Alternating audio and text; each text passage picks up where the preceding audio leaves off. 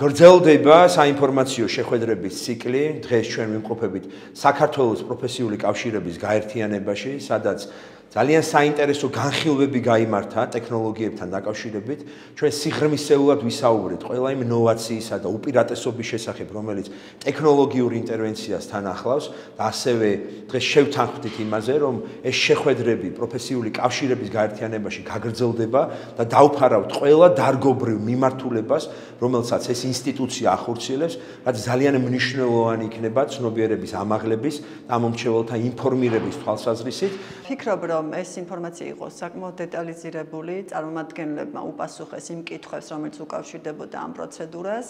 მიუხედავად იმისა, რომ ეს საქართველოს შესაძლო მასშტაბურად პირველად იგეგმება, ფიქრობთ, რომ არანაირ ტექნიკურ სირთულეს არ უნდა ქმნიდეს ის, რომ ჩვენ თავისუფლად ჩავატაროთ არჩევნები მიმდინარე წელს. სამომავლოდაც თუკი საჭირო იქნება დამატებით ესეთი ტიპის საინფორმაციო შეხვედრებში ჩართულობა და ჩვენ რესურსის გამოყენება, ამისთვის ცხადია გვაქვს სრული მზაობა. ძალიან კმაყოფილი დავჭი, იმიტომ რომ ეს ტექნოლოგიური საშუალებები იძლევა თვით დაჯერების საშუალებას, რომ შენი ხმა ნამდვილად დაცული იქნება. ძალიან მარტივი აპარატია ამის გამოყენებას. მე ვფიქრობ, რომ ალბათ ბავშვიც კი შეძლებს და ყველაზე მნიშვნელოვანი ის არის, რომ არ იქნება შეფერხებები ხმის მიცემასთან დაკავშირებით.